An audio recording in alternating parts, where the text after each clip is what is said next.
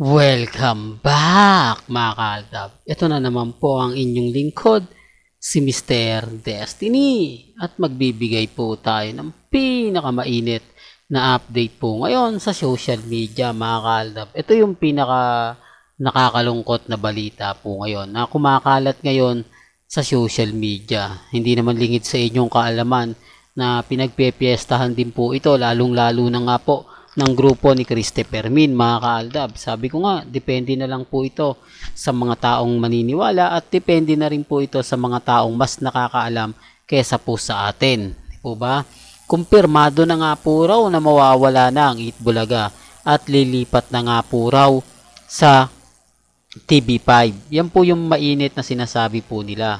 Mainit na pinapaliwanag po nila. Ako naman po mga kaaldab eh, kumbaga hindi agad-agad at basta-basta naniniwala sa mga ganyan. Alam naman po natin na minsan fake news po yan. Pero kumbaga pinagduduldulan na nga po raw eh, base po sa mga nakalap nila.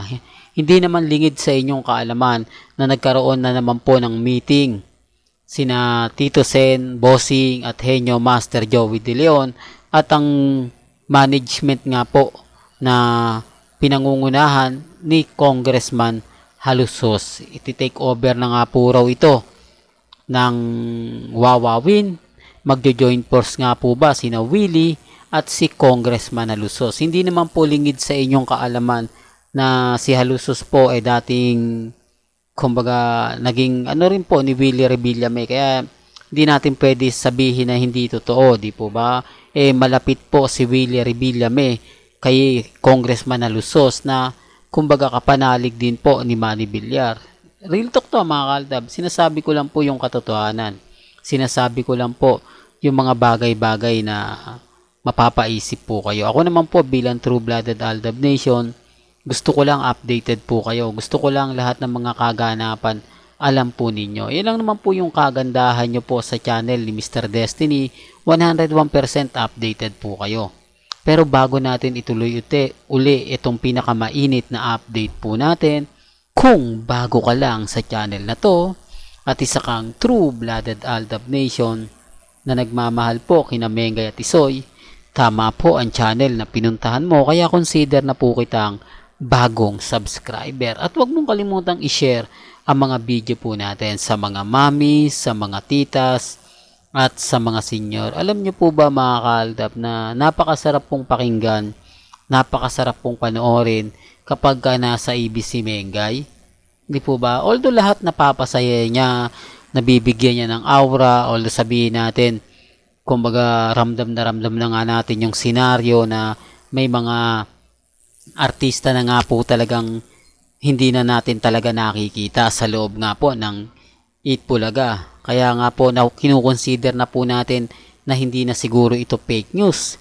Hindi na siguro ito kumbaga masasabi natin na walang katotohanan dahil kumbaga madalas na nga po naman daw pong makita si Albi Benitez na kasama nga po nila Bossing, Tito Sen at si Henyo Master Joey De Leon. Siyempre may issue na po yun doon, di ba? Executive producer ng TV5 eh. Kausap ang TBJ. Anong sa tingin mo nga naman po yung pinag-uusapan nila at bakit dumadalas na nga po yung mga pag-uusap nila? Di po ba? Ibig kong sabihin yung secret meeting nga po nila eh lagi pong kumbaga maraming nakakapansin na sunod-sunod nga po raw. Base po ito sa TV5 din mismo. Kaya lang syempre hindi naman po nila sinasabi kung ano nga po ba talaga yung pinag-usapan pero meron nga pong sigalot o may meeting po talaga naganap.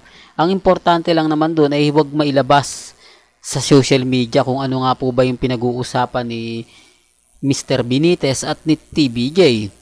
Pero dito po sa angulo naman po ng Eat Bulaga at ng panig ni Congressman Alusos, lumalabas po eh. Di po ba? May mga source kasi rin to eh. Sila Bullet, di po ba na kumbaga hindi na iiwasan na ibinabalita na tumugma naman po talaga dun sa naging interview ni Boy Abunda kay Mayor Bullet at pumutok naman po talaga yon at 101% lahat ng mga sinabi po sa website na yon kumpirmado.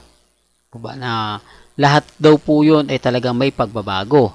Na sinasabi nga po nila na magbabawas sila ng mga ibang host at pababalikin na lang at maglalagay nga po sila ng bagong host na ipapalit nga po kila Main Mendoza, Ryan at syempre sa kay Paulo at ang maiiwan nga daw dyan si Jose, si Alan si Wally mga kaaldap. Yan eh talagang kumpirmado kaya lang nga daw po hindi pumayag ang TBJ, hindi pumayag sina Tito Vic and Joey. Pagdating daw po kasi kay Mr. Tobiera, wala na po sila nagawa. Kumbaga talagang, kumbaga harap-harapan daw po itong nabastos.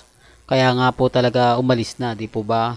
Ayaw niya makatrabaho nga po raw yung mga taong kumbaga sinaktan siya ng gusto, di po ba?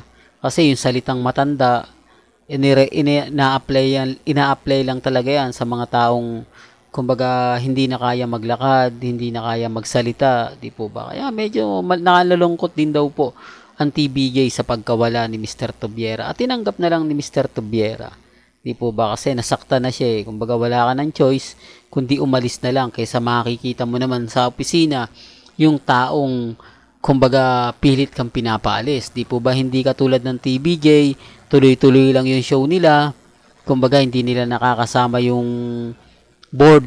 Di po ba? Hindi katulad ni Mr. Tobiera na kumbaga nakakasama niya. Kaya yun po yung isa siguro mga kaldo. Bulitin ko sa paglabas po ni Willie Rebillame sa GMA Kapuso. Ito po lang po talaga yung nagsasabi na magkakaroon na. Hindi po ba? Tamang timing, tamang labas na mapapaisip din po kayo. Sabi ko nga po sa inyo, minsan ang social media na rin po ang naglalabas ng mga resibo.